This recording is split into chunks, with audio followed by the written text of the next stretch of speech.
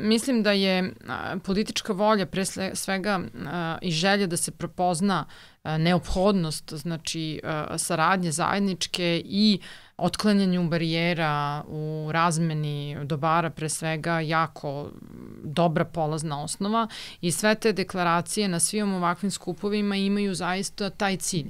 Oni posle treba da se pretvaraju u realnost, jeli, akcionim planovima u svakoj zemlji i tako dalje.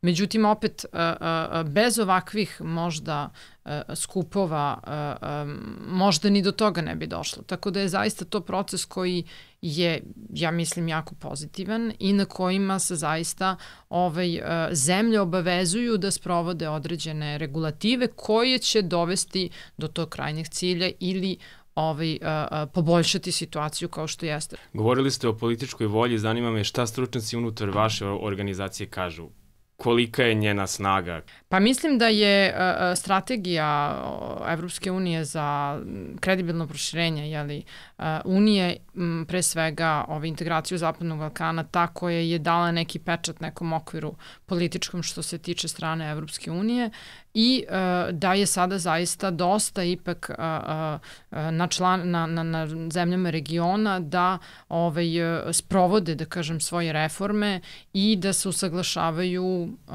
sa uh, pravilima, da kažem, Evropske unije i pravnom regulativom, tako da je, ovaj, ali opet je neki politički okvir i poruka poslata, što mislim da je dosta pozitivno. Kako vam deluje da taj proces ide među uh, činiocima Zapadnog Balkana? Pa mislim da, da ovaj, sam sporazum uh, koji su napravili uh, Skoplje i Atina, mislim da je dobar, uh, dobra uh, uh, uh, naznaka da se ide u tom pravcu.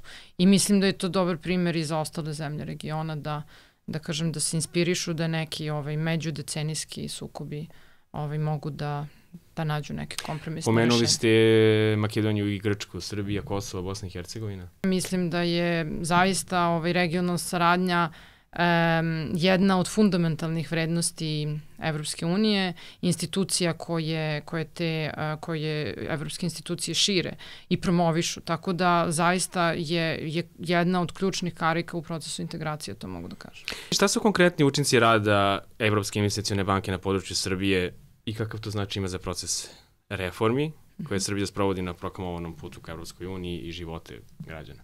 E, Srbija je najveća zemlja i u nju ide oko 40-50% znači naših aktivnosti i uopšte ovaj, po broju projekata i po, po visini a, sredstava finansiranja.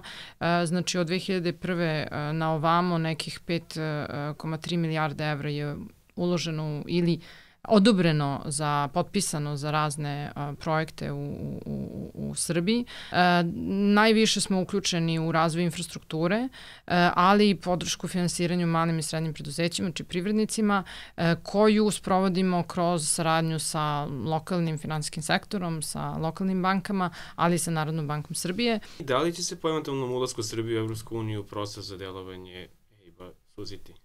Naprotiv neće, ono će se samo povećati. I kako zemlja znači pristupi, e, tako ima veći pristup e, strukturalnim fondovima Evropske unije, a mi često, odnosno najčešće, u, pogotovo u novim članicama, kofinansiramo te fondove, zato što budžetska sredstva jedne zemlje se koriste za plati za penzije i za tekuće troškove, a kapitalna ulaganja koja finansiraju strukturni fondovi Evropske unije se e, kombinuju sa našim sredstvima, što kreditnim, što bespovratnim.